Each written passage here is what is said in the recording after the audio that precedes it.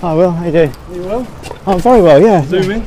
Um, yeah, I'm just kind of capturing the life of the city. So tell me what you've seen in the last. I've just come from Edam. I just found a lovely shortcut from the uh, North Downs Way. I cut three miles off it. Okay. Beautiful. Ten miles to Edam. Oh, Well worth a Okay. So where did you come? Where did you break from the traditional? Um, almost immediately after the village, actually. Okay. If you look at the route, it's a big looping North Downs Way loop, Yeah. and it's a lovely way all through woods. Well, three quarters of the way. and it's all public footpaths and Oh stuff. yeah, yeah, yeah, yeah. yeah, yeah.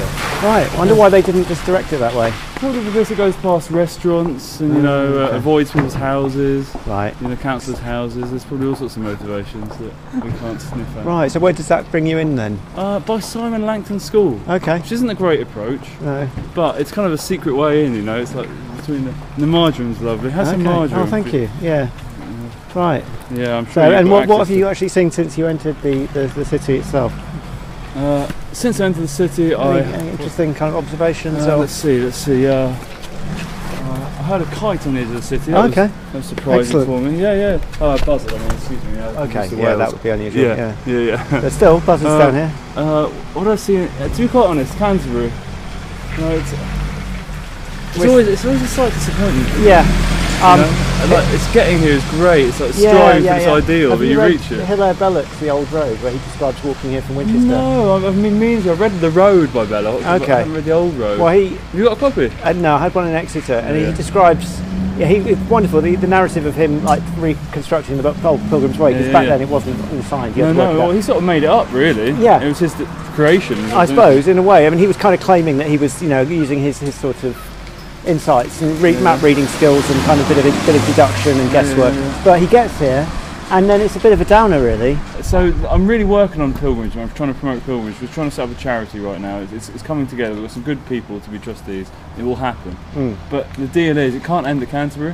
It's as simple Ah. as that. You've got to keep going. Right. Canterbury's just a stopping point. Yeah, I mean, it was only a pilgrimage site for 350 years. I mean, it's not like it's always been that or it always will be that. It, it was no before Becket. There was pilgrimage to Canterbury. Oh, there was. Yeah, yeah, Okay. absolutely, absolutely. I mean, obviously there'd be people walking here because it was a pivotal place to. the North Downs Way is, is you know the North Downs. Yeah. It's like undeniable. Yeah, but I mean, is. would you call that pilgrimage, or was it just people travelling on foot across the land? pilgrimage is kind of it's a many it's got it's, it's a technique rather than a d- definitive meaning Right. to it you know it's it's, a, it's an outlook i think Yeah. a sort of frame uh, of dedication really uh, it just means per aga through the fields Oh, really? Okay. Yeah, so yeah, the yeah. religious connotations have been added on later. well, it's middle age, middle medieval catholic la- it's our last memory of pilgrimage if you know what I mean. okay. but we I, we're working on replacing that last memory with a you know a new paradigm because the church has lost the grip of pilgrimage Yeah, essentially it doesn't own it anymore it hasn't done for a long time.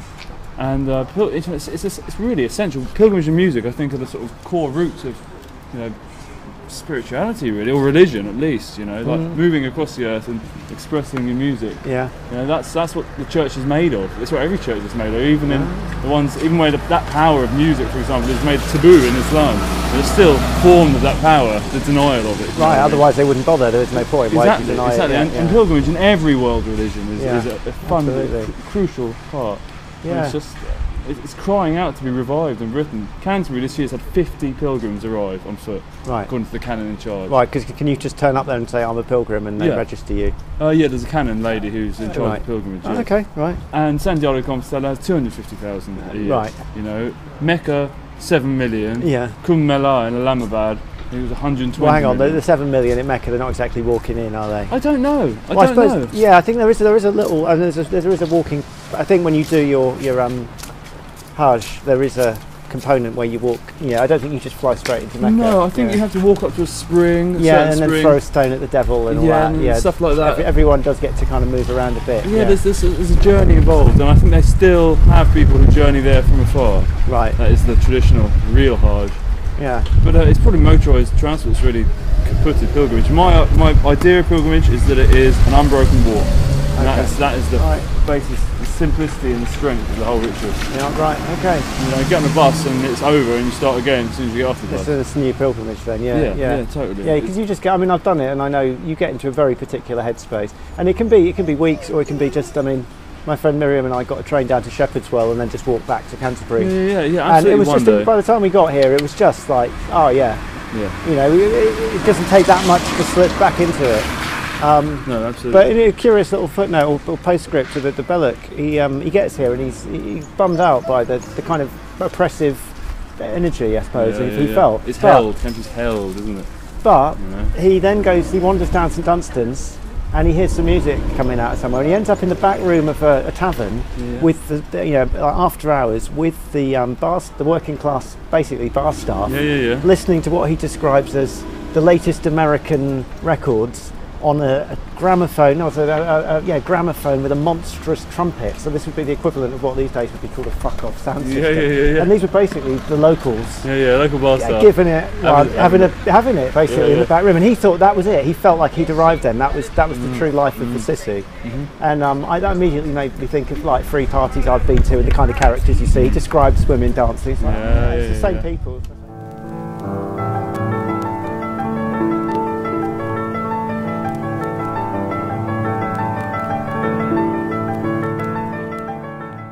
This corner here, Yeah. because I've been doing a bit of local history research. This is where the earliest evidence of any human settlement in the city walls was. St John's Lane and Castle Oh, Street. Yeah. Um, Here? I mean, it So- doesn't. I'm sure it's that's just that's just what they've dug up. I mean, Yeah, yeah, it's yeah, difficult to dig a city like Well, this up. Big Breeze. I mean, you're talking about city walls. within within the city, yeah. It seems that after the first attack on Bigbury in 55 BC, people started resettling down here. Well, the Romans put the walls up, didn't they? Yeah, yeah, but that wasn't until 200. Oh, really? Yeah, That long Romans after? got here in 43, but they didn't need to defend. They had an amphitheatre um, just down there. Do you know about the amphitheatre? There was a, a, a three to five thousand seat amphitheatre. Which is now what is it? What's what's it beneath? Uh, is that where It's the that, old the old that. Marlowe used to be? Um, yeah, the old mile. Just that, that corner there, that staggered yeah. corner of Beer Cart Lane and that would Yeah, be the dead centre of the front of a semicircular amphitheatre that would have seated more people probably than would have been in the whole of East Kent at that yeah, time. yeah, yeah. So it was God knows what was going on. And then there was a temple precinct that way, Wow. which covered a huge chunk of right over to um, Yeah, yeah, Stour yeah. Street. So there was a temple precinct, and they don't know what was going on in the amphitheatre. I mean, they can assume it was like you know entertainment and whatever, but it, it may equally have been something of a, a nature we can't even relate to. I think they sort of merged their religion with everything. Everything. I mean, they were digging up. If you look at the archaeological find, I mean, I've just recently been going in the museum and ordering old books and stuff just to try and get a grip on the history of the place. They were digging up little goddess figures, Yeah, yeah. you know, in St Dunstan's churchyard that date back to kind of early Roman era, and it seems the locals just mingled their own, you know, deities with the Roman ones. Yeah. And King Ethelbert, before he got baptised, was was worshipping a whole range of. Of, of, of gods or whatever you'd call Favours, them, yeah. and then, um, and then even when Augustine got here and um, imposed Christianity, there was the cult of the Saxon saints, which Yeah, lasted right until the Norman Conquest, which absolutely. was basically just another. So I suppose the pilgrimage. Swithin was never even properly canonised, you know.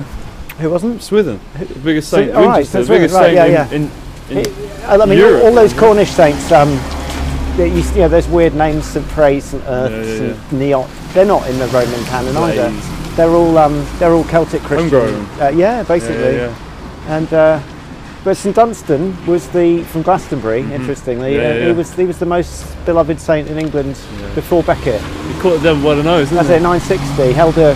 It was in the form of a beautiful woman. He apparently held her he? In nose, the form of a beautiful woman. Yeah. I never heard that. and he held it all night. he Ah. just held, held onto her nose with a pair of tongs. It might have just been a beautiful woman. Yeah, yeah, yeah. He was Poor really, thing. really beautiful. Yeah, and really tempted him. and uh, there's a there's a little um, statue thing of it in the cathedral precincts. I don't know if you've seen. It's really awkward. It almost looks like he's sticking his staff up the devil's nose. But he was. I've there, not there seen it. probably would have been um, pilgrimages to, to the uh, the shrine of St. St. St. Dunstan. I figure it's like it's a very, very ancient technique. You know, like um, migration era, yeah, ancestral heroes, right back. Right. How did we, who the first people to arrive on this land? How did they come in? You know, and then the hunter-gatherer routines that saved the tribes, and which ways did we go when we needed to escape the ice coming in or Right. whatsoever? You know, I think it's very ancient indeed, long forgotten. So what's the name of the trust that you're setting up? Well, we're just working on these details actually. Right. Is uh, this you and Guy or you? Yeah, me and Guy Yeah. and Ed will be involved, and we've got Rupert Sheldrake. Really? Yeah, yeah, oh, yeah. brilliant. Okay. Well, we're trying to actually focus specifically on the English, what we're calling the English Camino. Right. You know, it's a Spanish word, but everyone in the world knows Yeah. the Camino. The English Camino is the Winchester County route. It's, it's going to be a circular route, but you can obviously just go Winchester County, either North Downs, but Yeah. branching down into the Weald where the M25 comes down, Yeah. and then rejoining the North Downs way a bit later. And then there's the South Downs route. Right. So it's you can go an entire circle. You can keep going okay. if you want. Right, right. Like this, uh, the symbol of it is uh, the snail. Okay, Yeah, nice. with its.